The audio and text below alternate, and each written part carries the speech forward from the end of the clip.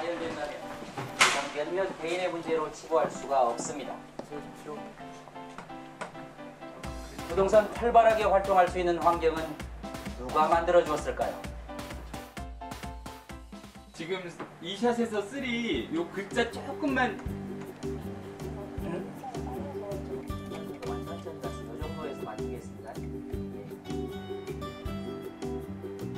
더 이상 몇몇 개인의 문제로 치부할 수가 없습니다.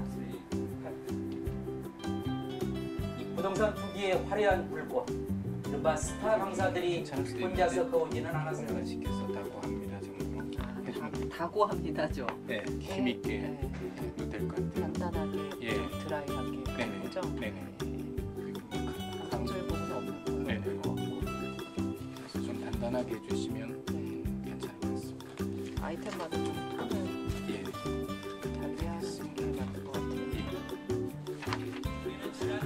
100년간 부동산 불패라는 신화 속에서 살아왔습니다.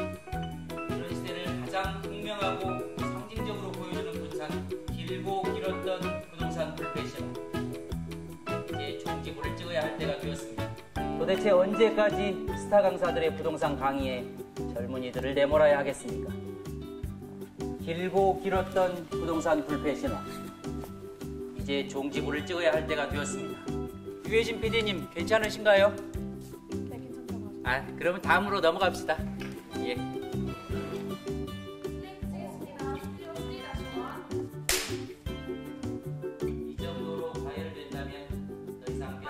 쇼맨식으로 청중을 휘어잡는 자칭 부동산의 여왕.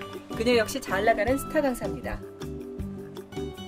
부동산 왕국의 꽃 스타 강사. 그들은 알고 있는 듯합니다. 미친 아파트 값의 비밀을. 미쳤죠. 내 생각에 톤을 너무 안 올려도 될 것 같아요. 감기가 완전히 안 났는데 감기가 완전히 어, 좀 나갔, 처음에 힘있게 해도 될 것 같아요.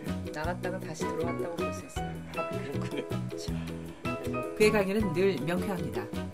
화려한 쇼맨십으로 청중을 휘어잡는 자칭 부동산의 여왕. 그녀 역시 잘 나가는 스타 강사입니다. 부동산 왕국의 꽃 스타 강사. 그들은 알고 있는 듯합니다. 미친 아파트 값의 비밀을. 집값을 낮춘 매물도 나오고 거래 있죠. 절벽 현상은 당분간 지속될 전망입니다.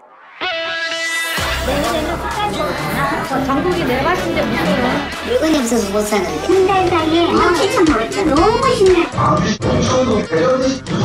우리 집이 가장 더 직장 그냥 대학을 써버린 거야 하루도 없는데 그두 달 사이에. 내년이면 월이 너무 심어요 조만간 정부에서 뭐라고 했어? 믿지 마시고.